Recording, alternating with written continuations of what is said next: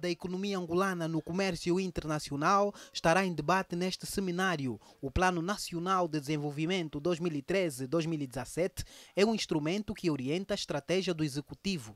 A condução da gestão econômica do país estava a reclamar, estava a apelar que fizéssemos recurso a instrumentos e iniciativas que fossem, de certa forma, garantir uma melhor eficiência na utilização de recursos públicos. O debate em torno da criação do Instituto de Apoio às Exportações está reservado para o segundo dia de trabalho, mas os empresários já falam das vantagens para a economia nacional. Nós devemos ter produtos que possam competir de igual para igual com outros produtos produzidos em outras partes, em outros países, mas se não olharmos a componente preferencial daquilo que é produzido a nível nacional, se não incentivarmos as indústrias que hoje já operam no país a produzirem localmente, então vai, podemos criar um certo desvio. É uma iniciativa de louvar e trará certamente expectativas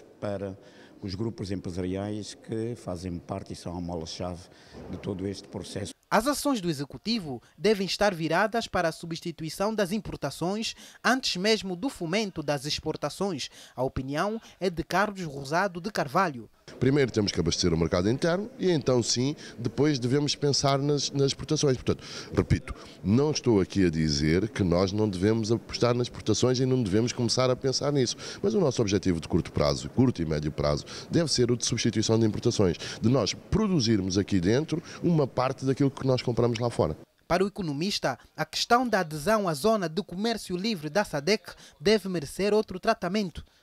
Quem anseia ser uma potência na região tem que ser um eh, catalisador, um promotor do comércio eh, entre a região. E a verdade é que a nossa posição sobre a zona de comércio livre é, no mínimo, duvidosa.